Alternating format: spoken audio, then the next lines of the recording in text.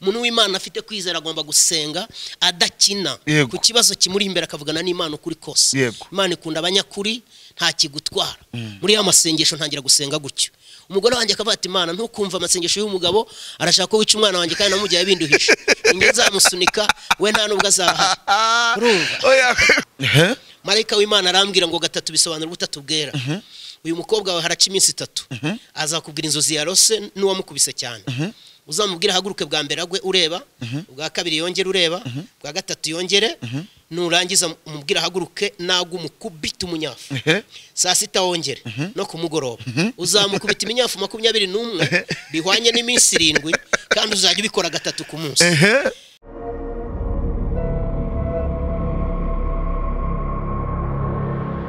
Yesu ashimwe n'ikaze kuri shiro tv uyu munsi wa none ni jacques musonera ko sindi njyenyine muri studio. Ha, mwabonye benshi mwumvishe benshi ariko umunsi ntabwo bisanzwe. Rero ni umwe mu bagabo bamenyereweho gukoreshwa ibitangaza n'imana ariko bivuye mu mpano yo kwizera.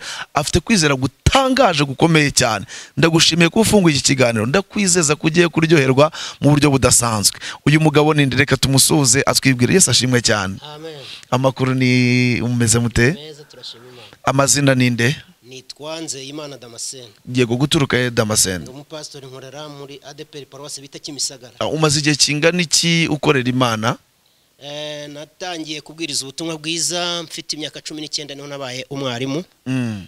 Eh, waje waje kwakira impano yo kwizera nk'uko abantu benshi benshi benshi muri iki gihugu ndetse no hanze ya- yacyo bakumenye kuri iyo mpano waje kuyakira nko mu myaka ingahe ufite nk'imyaka ingahe? Nayihawe mfite imyaka cumi n'ine. Cumi n'ine. Muri mirongo inani na gatanu kuko ariho nabatijwe mu mwuka wera. Ukibatizwa wahise wakira iyo mpano. Eh, hari igihe umuntu usanga afite impano ariko ugasanga rimwe imana akoresha ashobora kuba yarayivukanye. Wowe niyo wavukanye cyangwa yakiriye umaze gukizwa wuzuye umwuka wera. Nayakiriye maze gukizwa nuzuye umwuka wera. Utangira gukorera imana.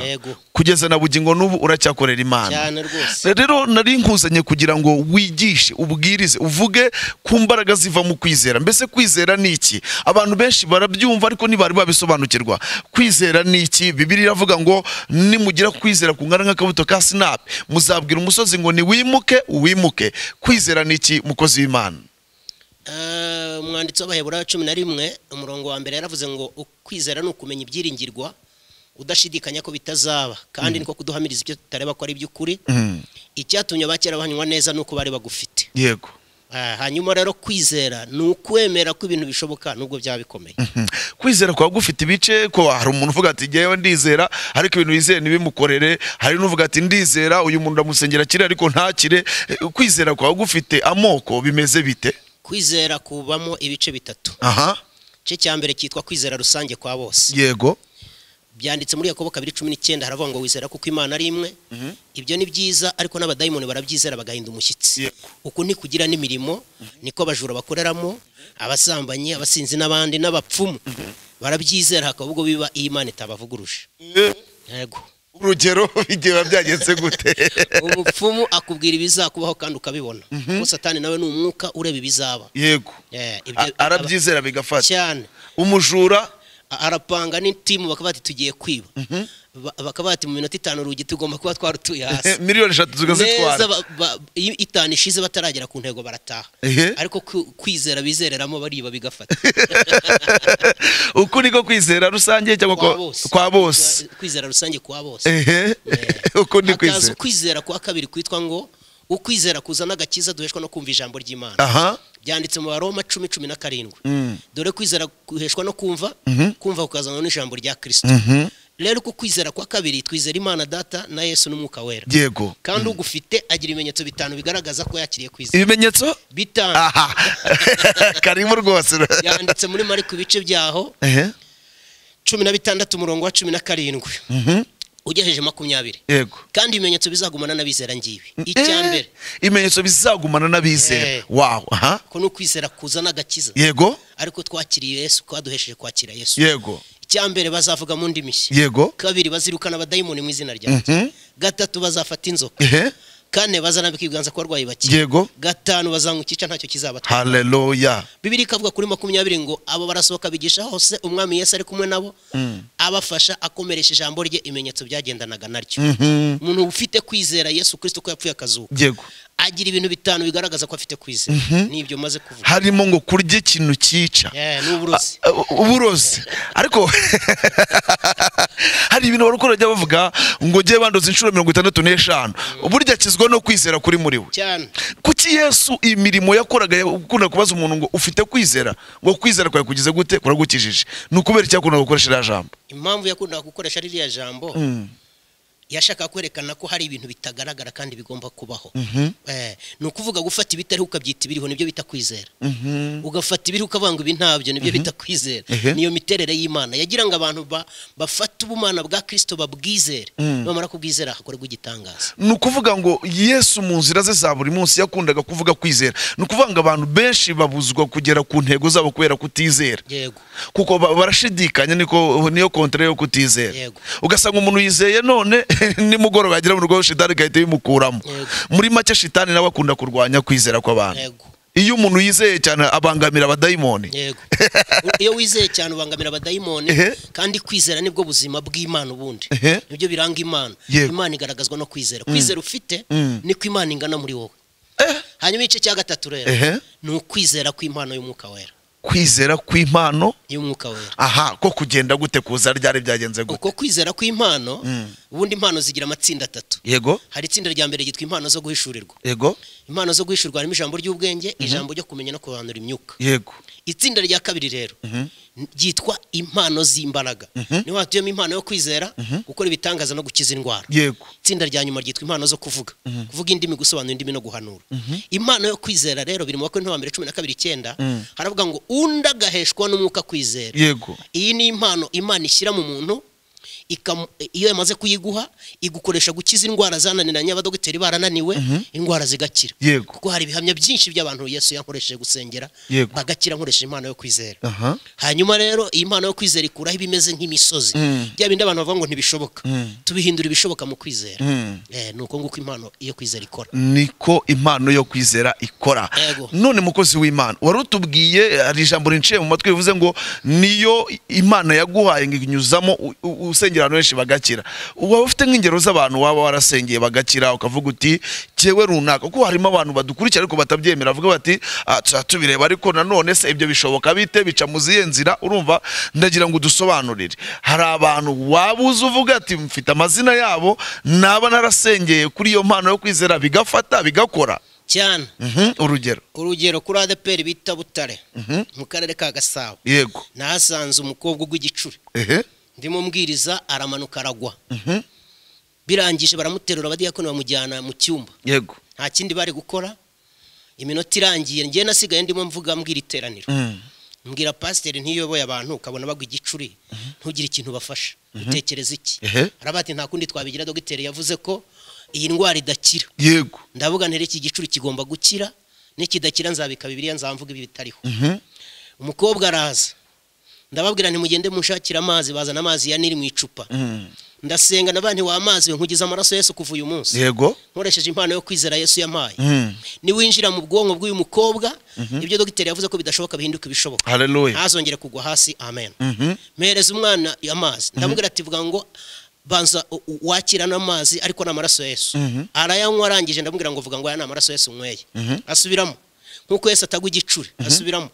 Nanjye sinzongera kugwa kugeza igihe nzapfira haleluya kuva icyo gihe kugera ubu ntarongera kugwa hasi. Haleluya yitwa impano yo kwizera Aha. ikorana no gukora ibitangaza bikubaka ubwami bwa kirisito mu bantu b'imana. Mm, ni uko nguko byagenze.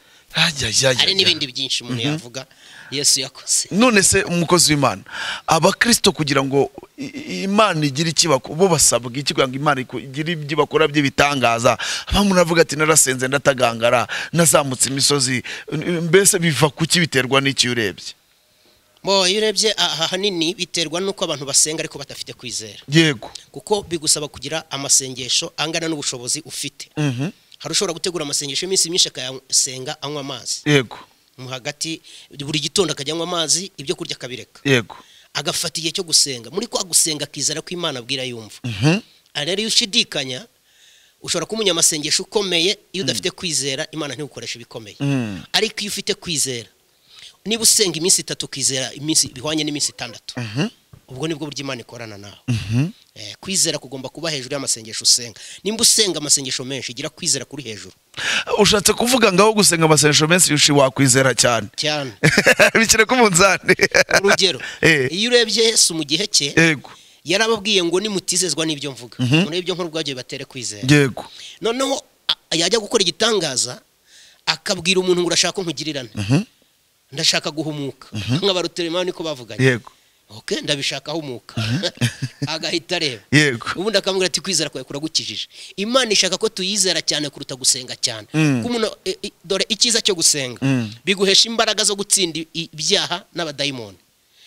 Hanyuma ariko icyiza cyo kwizera gikora ibitangaza bigaragara n'ubwo waba utasenze. Mhm. Eh.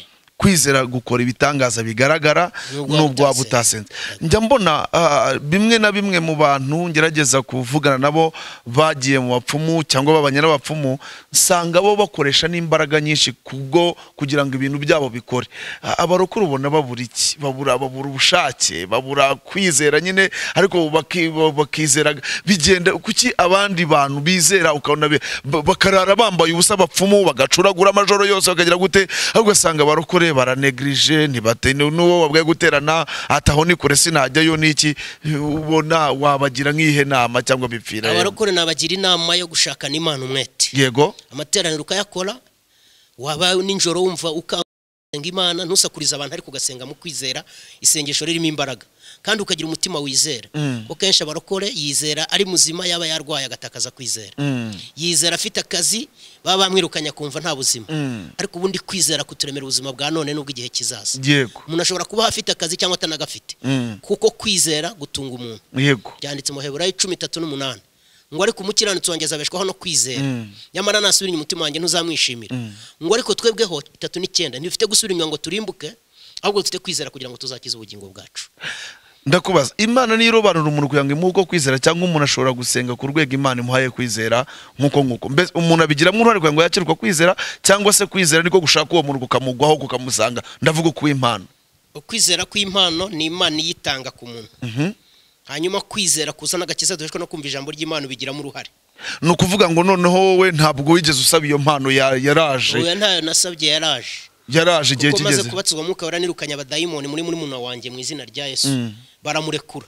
Uwo munsi mpabwa impano yo kwirukana abadayimoni Mhm. nkomeza gusenga imana irambwira ngo nguhaye impano yo kwizera. Mm. kandi narabyiyumvagamo. Iyo ufite impano yo kwizera Mm. urasenga ukumva ibintu byose byumva. Yego. Kuko nimba nsengeye amazi nyahindura amaraso ya yesu Mm. mpita amenya ko amazi afite amatwi yumva. Yego. Kuko byanditse muri yesaya. Nibyo koko se? Ibintu byose birumva. Ibintu byose birumva? Eh, yesaya ibice mirongo ine n'umunani umurongo wa cumi na rimwe Mm. kugera cumi na gatatu. Haranditse ngo ku bwanjye nzabyikorera nta cyatuma izina ryanjye ritukwa yego. Nyumva yakobo na isirayeli nahamagaye. Mhm. ndiwe ndi uwa mbere kandi ndi uw'imperuka. Yego. Ukuboko kwanjye kwakize urufatiro rw'isi. Ubwo bisobanuye ukuboko kw'ibumoso kw'imana. Yego. ni isezerano rya kera. Mhm. hanyuma ukuboko kwanjye kw'iburyo kubamba ijuru. Yego. bisobanura isezerano rishya. Hanyuma iyo mbihamagaye biritaba Mhm. ijuru n'isi byitaba imana birumva. Yego. ibyaremwe byose birumva. N'ibiti iyo bigira bityo umuyaga ubinyuzemo biba biri kuvuga ati uwiteka ni we mana. Umuntu ufite kwizera agomba gusenga yasengera amazi akumva ko amazi yumvise haleluya hanyuma ibintu bigakunda. Eh, nuko bimera. Ibintu byose birumva. Birumva. Ni- ni- ni ho Ye- yesu yavuze ngo ngo nimu- nimuceceka ngo aya mabuye. Ngo bantu baramutse bacecetse ngo aya mabuye ya- yavuga. Ayayayaya rero wa- wowe udukurikira njya nkubwire ngo uzamura kwizera. Ntabwo imana yakura nawe udafite kwizera. Sibyo uko bimushumba? Nibyo. Ntabwo bishoboka ko imana yakura nawe udafite kwizera. bibiri avuga ngo ntibishoboka ko wizera utizera anezeza. Rero mu- bintu byose usabwa ukeneye kwizera. Kwizera niyo ngabo ya mbere. Niyo mpano ya mbere. Niba ugiye mu masengesho ajyanemo intego ariko afite kwizera kuri hejuru y'amasengesho agiye gukora. Bimera. Ibintu birakomeye. Mfite amakuru mushumba Mm, ngo wigeze kugira ibyago ubyara umwana ariko ngo umwana avukana ikibazo. Niba yarakivukanye niba yarafashwe akuze ariko ngo imana iza kugukoresha umwana arakira byagenze gute? Bimvira umuzi n'imuzingo uh, utubwire uko byagenze. Umwana wanjye w'imfura yitwa ihimbazwe rusi. Yego. Imvano yabyo rero ubundi mvuka mu muryango ugira imivumo ya karande itatu. Eh? Karande bisobanura uruhererekane rwo mu muryango ruca mu maraso. Sobanura ibyo bintu umuvumo wa mbere ni ugushaka umugore w'isezerano agapfa. Ibyo nabisanze iwacu. Mhm. umuvumo wa kabiri guterwa n'ibisazi bikica abantu. Mhm. umuvumo wa gatatu kubyara abana bavukanye ubumuga bwo kutagenda baremaye. Sogokuru ashaka umugore wa mbere arapfa. Mhm. Ashaka uwa kabiri arasara biramwica Mhm. data ashaka mama tubyara turi batandatu arapfa. Ashaka umugore wa kabiri arasara. Atari yapfa babyarana umuhungu waremaye uwo muhungu yapfuye amaze imyaka munani afite ubumuga bwo kutagenda arapfa. Hanyuma mukadata nawe biramwica Mm. nyuma rero nanjye nubatse urugo jenoside irangiye. Nshatse umudamu umwana wacu w'imfura nawe avuka yararemaye ingingo z'amaguru n'amaboko. Mushyiriye dogiteri aramusuzuma aratubwira ngo umwana ntazigera agenda tuzamusunike mu igare ngo bibaho mu buzima ngo kuko ingingo ze nta amagufa ntakora. Ndataha maze gutaha mpita ntekereza ku kwizera. Ndavuga ni impano yo kwizera imana yampaye niyo ngiye gukoresha. Ntangira gusenga imana. Ubundi hari ibintu abantu bavuga ngo ngo ibi biri mu bushake bw'imana ngo ni ishuri ngo ni ikigeragezo ngo ni igishakwe ngo ni umusaraba. Kirazira ko imana ikugerageresha karande y'iwanyu. Nimba iwanyu bapfa bakenyutse senga imana waturekura amaboko ubwawe n'urubyaro rwawe. Amen. Ukoresheje kwizera kurema ibitariho bikabaho Mhm. nimba iwanyu bapfa nta n'ufite akazi senga imana wowe ugira akazi ukoreshe n'abantu. Yego. Kuko karande ntabwo iyobora umukristo ufite kwizera ahubwo ayoborwa n'amaraso yesu no kwizera kandi imigisha yose y'umwuka twayiherewe muri kristo yesu. Hanyuma ntangira gusenga mbwira imana n'abana imana tubyumvikane. Namaze gukizwa nakira umwuka wera. Yego. Uyu mwana uramuhagurutsa agende. Nutamuhagurutsa umwice nzabyara abandi badasunikwa mu igare. Ntangira amasengesho ari seri. Umuntu w'imana afite kwizera agomba gusenga adakina. Ku kibazo kimuri imbere akavugana n'imana ukuri kose. Imana ikunda abanyakuri nta kigutwara. Muri ya masengesho ntangira gusenga gutyo. Umugore wanjye akavuga ati imana ntukumva amasengesho y'umugabo arashaka ko wica umwana wanjye kandi namujyaye binduhisha ninjye nzamusunika we nta nubwo azahara urumva? Oya umugore yavugaga iki akavuga ati mana ntukumva amasengesho y'umugabo. Uyu mugabo ni mubi cyane ari kuvuga ngo wice umwana wanjye. Urumva ngenda n'abaye siriyasi nkomeye mu isengesho. Uramuhagurutsa agende cyangwa umwice. Ntabwo ari igishakwe si ikigeragezo si umusaraba si n'ishuri. Mbwira imana ntushakira ahandi. Oya. Ndabyanga tugomba kugira ibintu twanga. Mwebwe abanteze amatwi yenda turaziranye cyangwa ntituziranye ndakumenyesha ko imana mvuga yazuye yesu mu bapfuye. Iracyakorana bugingo. Amen amen yesu abayobora cumi na gatatu umunani aravuga ngo uko yari ari ejo n'uyu munsi niko ari ni nako azahora iteka ryose. Hanyuma nkomeza gusenga. Eh. mbwira madamu ni simpindura amasengesho. Eh. ntangira gusenga gatatu ku munsi. Gatatu ku munsi bivuga iki? Imana umwana n'umwuka wera bisobanura ubutatu bwera. Daniyeli yasenga gatatu ku munsi. Mu gitondo saa sita no ku mugoroba gitondo ajya ku kazi saa sita avuye mu kazi no ku mugoroba yego. Niko byagenze imana imurinda urwobo rw'intare ntangira gukomeza gusenga. Ntabwira imana kumuhagurutsa gusa ahubwo nongeraho ngo nimba utamuhagurukije umwice nzabyara abandi. Wari wa- wari wa- isengesho wari wafashe icyemezo? sengesho ryitwa gufata umwanzuro udakuka. Umuntu w'umugabo wo guhamya yesu ugahagarara neza ugasenga. Ugomba kwifatira icyemezo wa mukobwa we. Bati, mpereza umugabo cyangwa unyeze ntahe. Nimba wumva yuko ntacyo maze. Ukaba siri. Nigeze mbyigisha muri adeperi muhima abantu ntibabyumva. Ndababwira ngo nimba uzi kurinda umbi itabyara vugana na yesu umubwire ngo ndashaka urubyaro. Cyangwa unyeze ntahe njye kuruhuka. Sinshaka kubaho ndi ingumba ntabwo ibi mbyemera. Iyo usenze gutyo Aha. haleluya. Ah. imana iruruka ikavugana nawe amagambo y'ireme.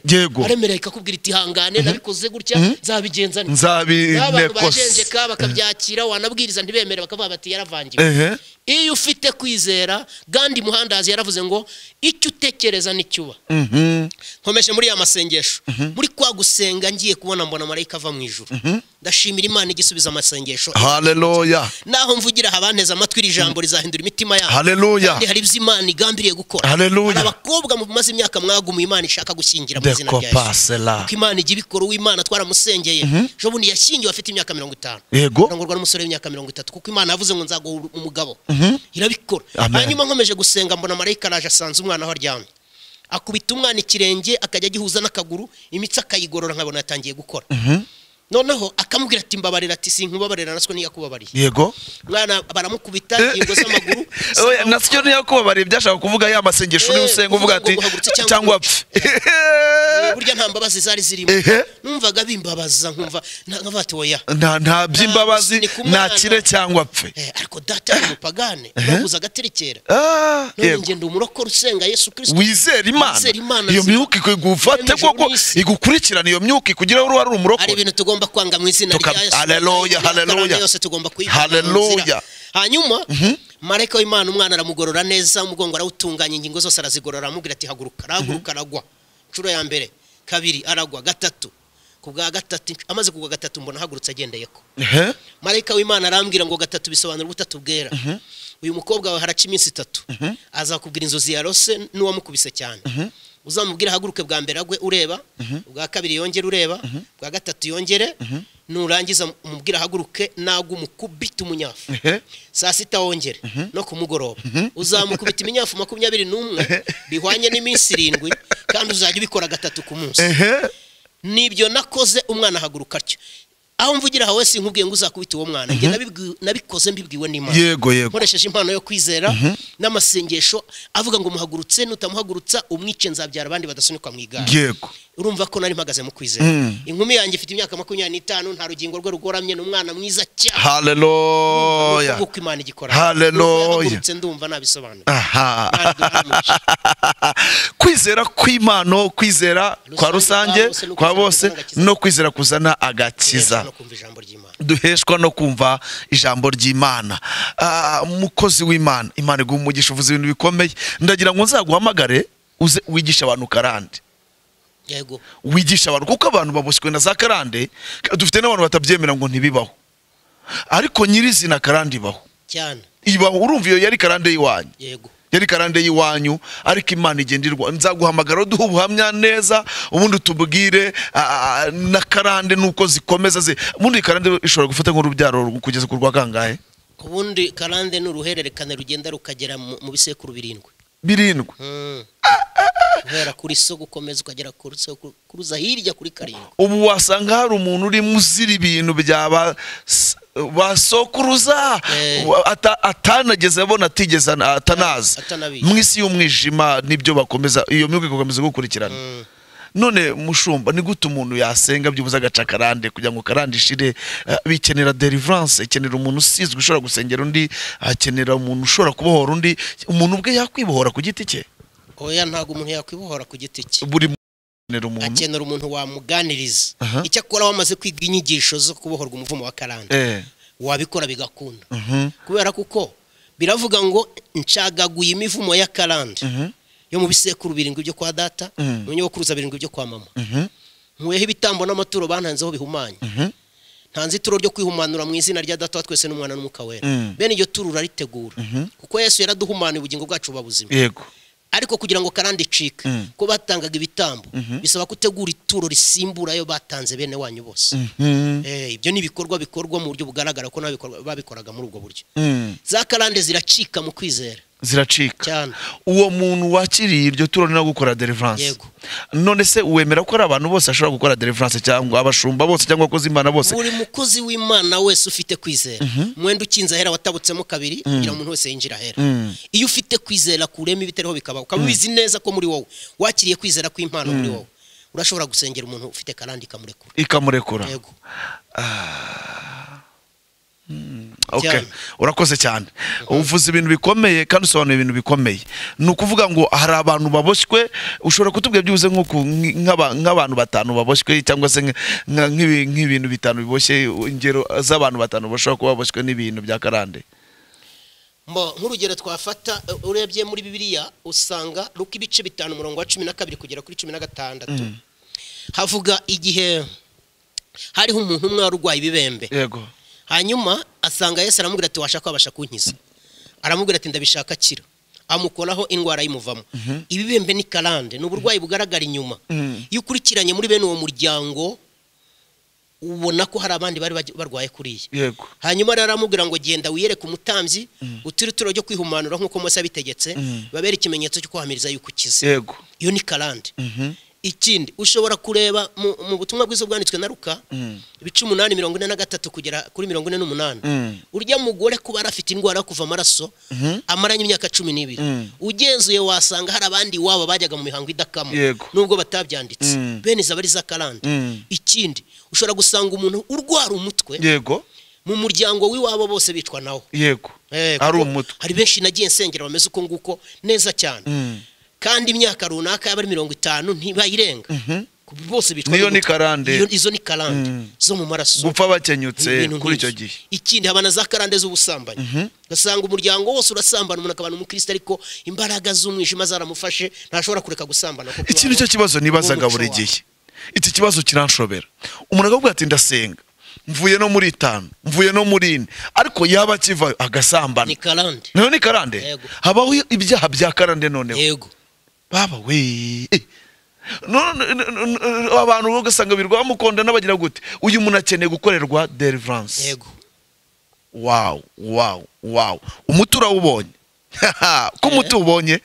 Umuti urawubonye dore ko wigenje byaranze. Ugasanga umuntu araharanira gusenga akagira ubu- ubushake ariko ibyaha bikamwizingazingiraho.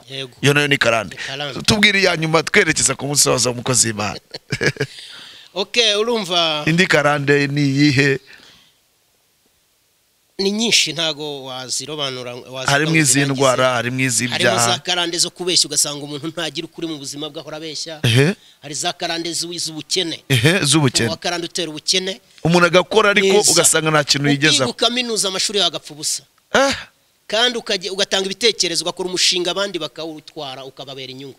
Wowe ugasigaraho ugasigara wakora ibizamini bakakunyuzamo umurongo. Mhm. kubera karande y'iwanyu ni dayimoni ya karande. Mm. isi yose ikwiye kumenya ibi bintu bakabyumva. Mm. abantu bakabohoka ku mivumo ya za karande. Yego yego. Kavuga ati ngewe ni we wacu biga ntibatera imbere. Ariko ndiyaturaho umugisha kuva aka kanya. Icyo gihe amashuri akakugirira umumaro. Amen. nuko ibintu bigomba kumera kandi bikagenda sawa sawa yego. Ibyo ngibyo imana ijya ibikora neza.